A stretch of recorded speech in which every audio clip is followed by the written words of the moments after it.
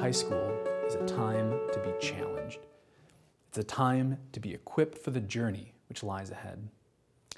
At Sacred Heart, we're studying, reading, and discussing things that really matter.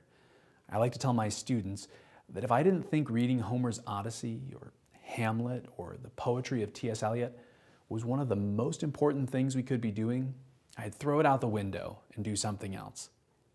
This speaks to the heart of high school students who genuinely want to be doing something important and who too frequently find that they're jumping through hoops set up by adults who seem only to be keeping them occupied for eight hours each day.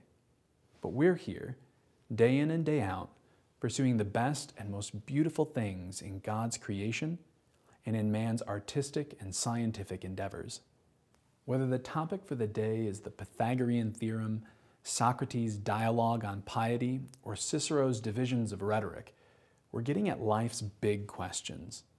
Why are things the way they are? Who am I? And what is my place in the world? An education that doesn't seek to answer these questions is, quite frankly, a waste of the student's time. At Sacred Heart, students can see and feel right away that their teachers take their work seriously.